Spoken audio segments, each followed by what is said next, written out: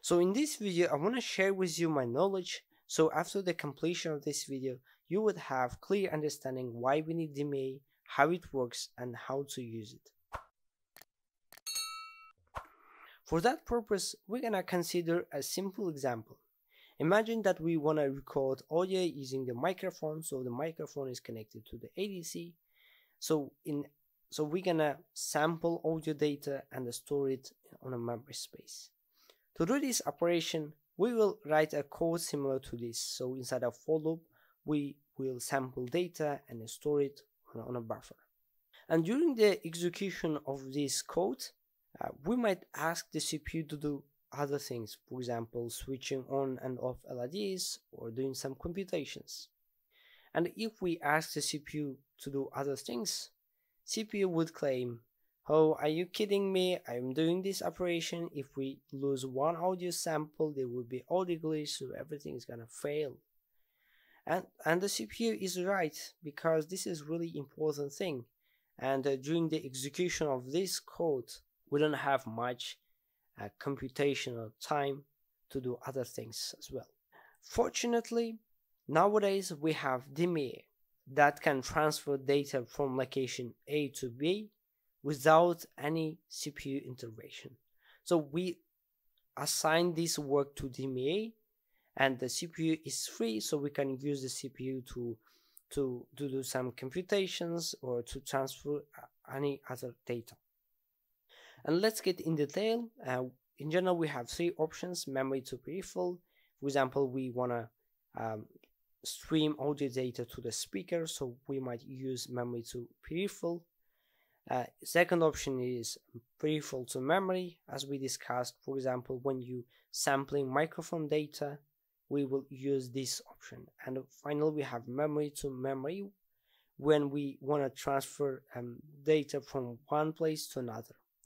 And also when you have several DMAs, you have to set priorities.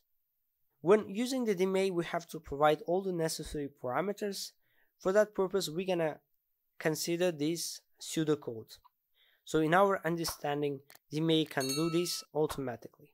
So when we ask the DMA to transfer data from one location to another, first it asks source and, and destination addresses. Then we have to provide the data size because it's quite logical. We might have 8-bit data, 16-bit or 32-bit data. And also, instead of buffer, we might have just one variable. So we need to specify whether we're going to increment or not after every iteration. Next step is to provide the total number of data to transfer. It's similar to the conditional statement of the for loop. Also, DMA can do this uh, transfer endlessly. Analogy would be uh, endless while loop. So basically we have two options, either circular or non-circular mode. So we need to specify it. So after providing all this information, the DMA can transfer data automatically without the CPU intervention. It is also worth being familiar with the block diagram from the reference manual. As you see, DMA controllers can access to the memory and the peripherals through the common bus matrix, so it can work independently from the CPU when it comes to transferring data between the memory and the peripherals. I also found these tables quite useful because they show exactly in which peripherals we can use the DMA. Also, as you see, every channel can access to specific peripherals for example, if we decide to stream data using SPI1, we need to work with this channel 4 of DMA2.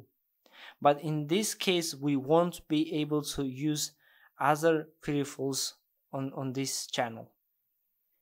However, if you're using the CubeMX software to program the microcontroller, using the DMA is quite straightforward. For example, I'm using SPI1, I open DMA settings, and here I need to enable um, the channel by pressing this add button. Then we have some parameters, uh, circular or non-circular mode, whether to increment the address or not, data size. After configuring all these parameters, we can save the file so the CubeMX software will generate all the necessary code to configure the DMA. Then we can open the header file of the corresponding peripheral. In my case, I have SPI, so I will open this header file. And if you scroll down, you will find um, all the necessary functions to work with the DMA. For example, I can use this function to transmit data through SPI protocol using DMA. So we initiate transmission of the data using this function, then DMA will work automatically to transfer data. If you need even more detailed information, you can refer to my STM32 programming course. Here I will show how to use the DMA with I2C, SPI, and UART communication protocols. You will get practical knowledge how to stream and receive data when working with sensors.